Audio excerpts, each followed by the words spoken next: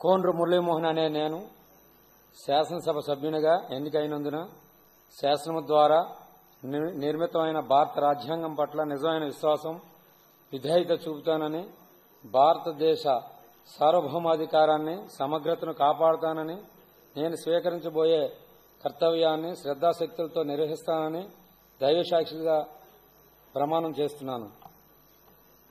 శాసనసభ సభ్యుడైన కోండ్రు మురళీమోహన్ అనే నేను సభా నియమ నియమాలకు కట్టుబడి ఉంటానని వాటిని అనుసరిస్తానని సభా మర్యాదలను పాటిస్తానని సాంప్రదాయాలను గౌరవిస్తానని దైవసాక్షిగా ప్రమాణం చేస్తున్నాను.